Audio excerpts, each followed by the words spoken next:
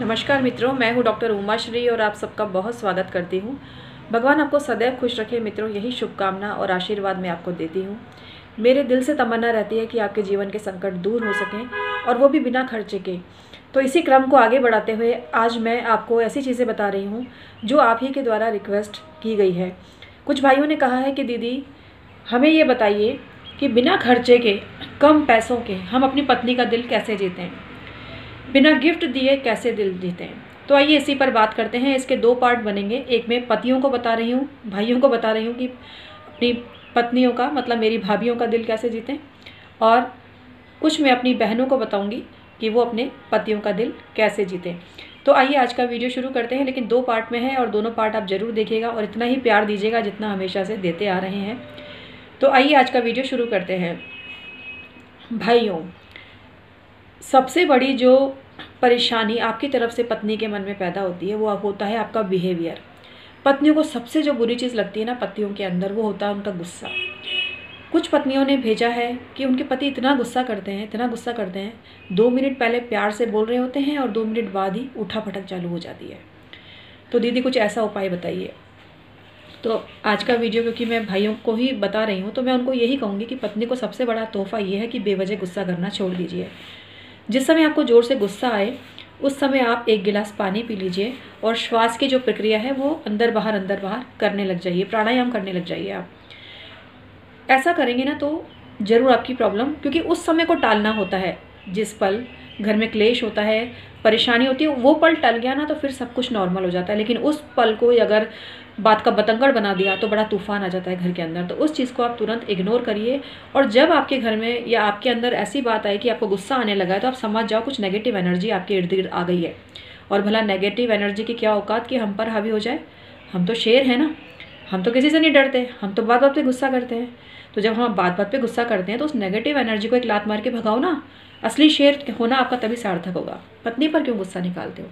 वो तो आपकी जीवन संगिनी है, अपना घर परिवार छोड़ के मतलब जिस घर में पली बड़ी, उस घर को छोड़कर आपके घर को बनाने के लिए आई हैं तो उनका सम्मान कीजिए। ये सबसे बड़ा गिफ्ट होगा आपकी तरफ़ से पत्नी के लिए कि आप अकारण गुस्सा करना छोड़ दें। दूसरा गिफ्ट ये होगा कि पत्नी जो भी बनाए उसको प्यार से खाइए। उसमें से मीन में मत निकालिए, आज तो नमक कम कर दिया, ज़्यादा कर दिया। देखो, अन्नपूर्णा का अपमान मत करो। ये जो आपकी पत्नी है ना, ये आपके घर की लक्ष्मी है। और बहुत ऊर्जावान तरीके से वो भोजन निर्मित करती है। भोजन निर्मित करना कोई बच्चों का खेल नहीं है। तो इसलिए उस भोजन का सम्मान कीजिए। कोई सजेशन है तो प्यार से बोल दीजिए कि इसमें थोड़ा नमक और डल सकता है। और नमक कम तो देखो, डल भी सकता है ना। नमक डाल लो। ज़्यादा है तो ये बोल दो, अगली बार से थोड़ा नमक नाप के डालना। बात वहीं ख़त्म हो जाएगी। ये बोलो, मेरी मम्मी से सीखो अगर ये बोलते हो ना कि मेरी मम्मी से सीखो खाना कैसे बनता है। कभी भी नमक ज़्यादा नहीं होता और तुम हो कि बार बार नमक ज़्यादा करती हो। बस ये बोलना आपके रिश्ते को ख़राब कर देगा। तो उस समय अपनी ज़ुबान ज़ुबान पर लगाम लगा लो और ये सोचो, देखो आपकी माँ की बराबरी तो कोई नहीं कर सकता। लेकिन इसका मतलब ये तो नहीं कि बार बार पत्नी को ताने देते रहो। तो ये मत करना कभी भी और ऐसा करो, अगर आप एटीट्यूड अपना चेंज कर लोगे ना तो ये सबसे अच्छा गिफ्ट होगा आपकी तरफ़ से पत्नी के लिए। तीसरी चीज़, उनके पीहर वालों की बार बार निंदा मत करो। ठीक है, आपको बहुत सी बातें बुरी लग सकती हैं और वास्तव में कुछ पीहर वाले होते भी हैं जो दामाद की कदर नहीं करते। लेकिन भूल जाओ उनको, क्योंकि आपका अनमोल गहना तो आपकी पत्नी है ना। उनके माता पिता या घर वाले तो नहीं। अब तो जिस, जहाँ वो रह रही हैं, वही उनका घर हो गया ना। जो आपका घर है, वही उनका घर हो गया। तो इसलिए इस तरह के कटु वचन उनको मत बोलो।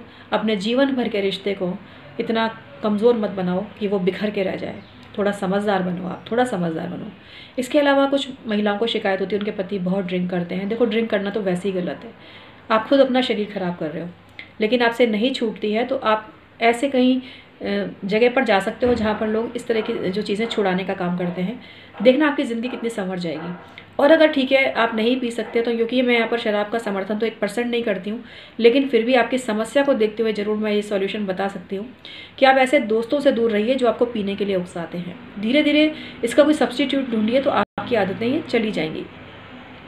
तो ये करो और दूसरा, पत्नी जब खर्चे के लिए पैसे मांगती है तो चिक चिक मत करो, या तो उनको आत्मनिर्भर बनाओ, अपने पैरों पर खड़ा करो। बहुत सी ऐसी स्त्रियाँ हैं जिन्होंने विवाह के बाद अध्ययन किया है और उनके पतियों के सपोर्ट से वो खड़ी हुई हैं, कोई व्यवसाय करने लगी हैं या नौकरी करने लगी हैं।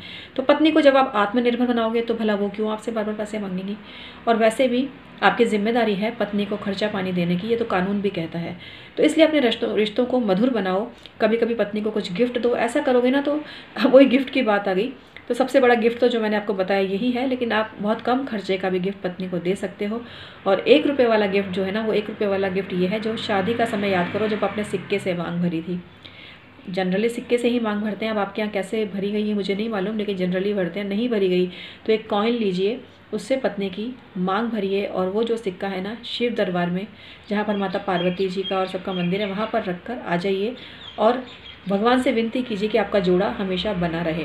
तो इस तरह से आप करेंगे तो एक रुपये वाला खर्चा सिर्फ़ मैंने आपको बताया बाकी सब आपके एटीट्यूड और व्यवहार पर डिपेंड करता है और उसमें कोई खर्चा नहीं है। बस आपके, आपको अपना मनोबल ही बढ़ाना पड़ेगा।